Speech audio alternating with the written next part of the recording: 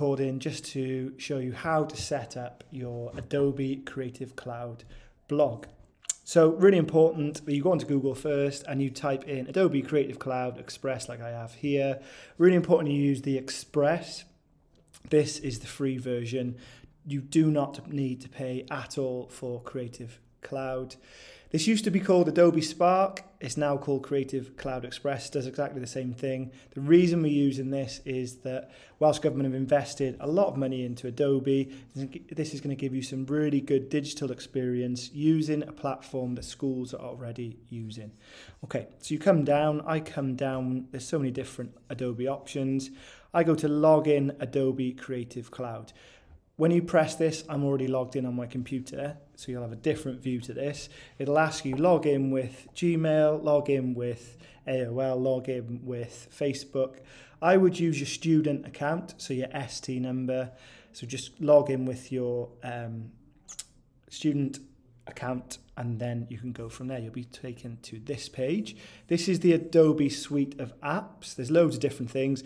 Lightroom is really good for all you Instagram lovers. It can turn a really shabby looking picture into a really good one. It adds in different lights, filters, those sort of things. If you get more followers, you definitely owe me half. Any of you become influencers, there's Adobe Acrobat, there's Adobe Express, you can see there. So you're to click on Adobe Express once you've logged in. You'll know you'd logged in because your details will be at the top. So there's mine, Sir, Jack, Sir Duke of Young. Don't ask. Okay. So this is Adobe Express. So this is Adobe Expressive Cloud. It's really good. It's similar to Canva if any of you have used Canva. It's a editing suite. So there's all these different things that you can do. So you can do your Instagram stories, Instagram posts. I use this a lot on Twitter. I use it a lot on Instagram. It can make a normal looking picture look really good. You can make posters. So as a teacher, I was constantly using this used to be called Adobe Spark, so I was using this to make posters. Really good for logos. Again, this is really good for um, table groups. You go onto logos, flyers, collages, book covers, all these different things, and children absolutely love this. So again, it's free. You could set them up yourself while you're on placement. All right, have a play around with this. I, like I said, I've used this a lot outside of work as well as inside of work as a teacher what you're going to need to do to set up your blog, you go onto this plus button here. So the plus button, you've got all these different things. So you can create GIFs, you can resize images, you can edit images, you can remove background, just really clever. But we're looking to do, you've got all these, this is the web page. So your blog is called the web page. You're going to click on web page, it'll take you through, this will create a web presence, which is here. So this is your blog. So really, really simple. You're going to start with my Aole blog. You're going to put your name. Don't put my name, put your name. Okay, and you can see you can add in photos, you can add in covers, split layouts. I'll show you those in a second. What's brilliant with the photos, you're going to add your own pictures. So if you've got any pictures from classrooms, any experience that you've had, you can upload them yourself. You can also search the Adobe stock. So for example, education, say you're talking about, I don't know, children in class. Well, then it brings it through and looks really good. Okay, so you're going to scroll down. When you scroll down on this plus button, you can add photos, you can add text, you can add buttons, they're links. You can add in videos directly from YouTube and Vimeo. There's a photo grid, so if you've got lots of different photos, then it's got a bit of a slideshow same as a glide show. And split layout is you've got some text. So you could say about, I don't know, say you're talking about digital competence, and then you've got an image of a child in a computer. And obviously, you get marks for including relevant images, multimedia. That's the whole point of this blog is that yes, you have the academic side in that you've got work that's supported by academic literature, but we also want to see relevant multimedia, which includes images, which includes sound files, which includes videos, which includes things that you've made, apps that you've made within the university sessions. Okay. So you can see here buttons is another example. So you might have found a really good website. You could type in, um, I don't know, say this is a digital competence. It's spelt really wrongly, link, and then you would drop the link in there and then it can appear in the middle. Again, what we want to see is not just random pictures or random links. It's really important that within your blog, you are using the multimedia to support what you're saying. As you would with an academic source, you're also using multimedia. So you could be talking about, um, as seen or demonstrated in this YouTube clip, in minute 14 and 22 seconds, the main person is talking about blah, blah, blah, blah. So it's not just a video that sits on its own. Okay, I'll let you have a bit of a play around with this.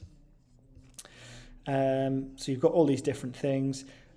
As we've mentioned, you do need to save all this on to a Word document and then you will transfer it across. I know that's going to be a lengthy process, but this is a free web browser. It hasn't happened to any of my classes or any of my pupils. I do know some schools that have lost all of their children's work. This is free, so you're not paying for it. So usually the response from Adobe is that they'll do everything they can to retrieve it, but you can't rely on it. So you have to write everything down on Word. You'll submit that as well. Really, really, really important that you have that backup and then you'll transfer them across. There's probably going to be a lot of copying and pasting. I appreciate that's really annoying for you, but there'll be nothing worse than you come to submit on the day and Adobe has lost all of your work because their site has crashed. So please make sure, so university policy, we cannot accept from anyone if Adobe loses your work, you should have a backup. That is really, really important. Okay, looking at the top here, there's settings. Don't need to worry too much about Google Analytics. I doubt these are going to go too viral. You can preview to see what your site looks like. As you can see here, we haven't done much on it yet. And we can come up there. Really, really important is this does not go live until you press share. So I'm not going to press this yet. You go to publish and share link. So you'll put your title. You can pick a category as education, doesn't really matter. You've got the author.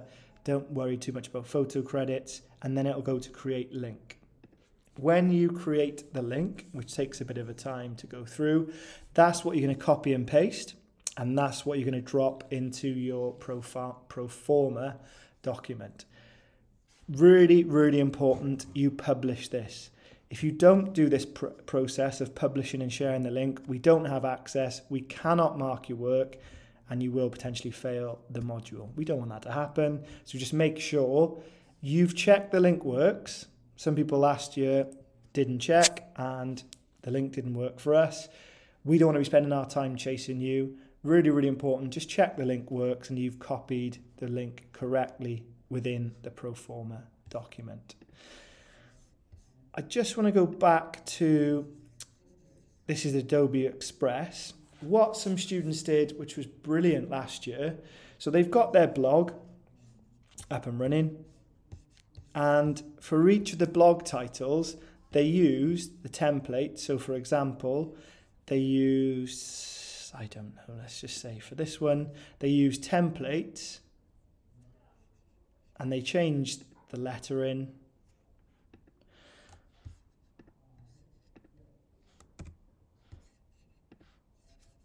and they can add in text. So just as an example, let's just add in text here. Choose any of these. Okay, and we can change that to blog one, and then you can put your title, which say it's digital competence. I'm sure this is some Russian, but you know what I mean here. So you can actually, and you'll get marks for this. So you're actually using a digital app to actually enhance your blog. And then once you're happy with this, I haven't been able to put the, because I'm rushing here, I know able to put the full title in, but you can change all of this. If you're not happy with this template, you could use something else. You go to download, you download it, it would save as an image and then you save it to your downloads, and then you could upload this to your blog. So what looked really, really good is that you had your, let's go back here.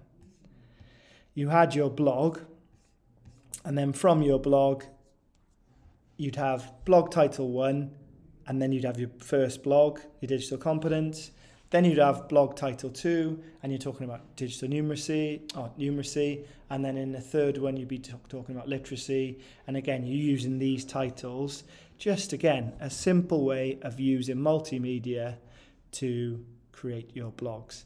We're going to be showing you loads of different apps, loads of different editing software. Again, those that got really good marks last year actually used the apps and the videos to create. So one of the students last year, uh, they used an animation app to animate themselves to say, welcome to my blog. This is my first blog. The first blog title I'll be tackling is about digital competence. So they had a video as a title, which again, is a really good use. We want to see these innovative and creative ways of you incorporating multimedia into your blogs. If you've just got text, you're going to miss out on loads of opportunities to earn marks. So just make sure you're thinking about different ways of engaging and bringing in different multimedia. Okay, that is Adobe Express, Adobe Creative Cloud Express to be in its fullest form. If you have any problems, troubles, issues, see me at the end of lectures or in seminars. Good luck.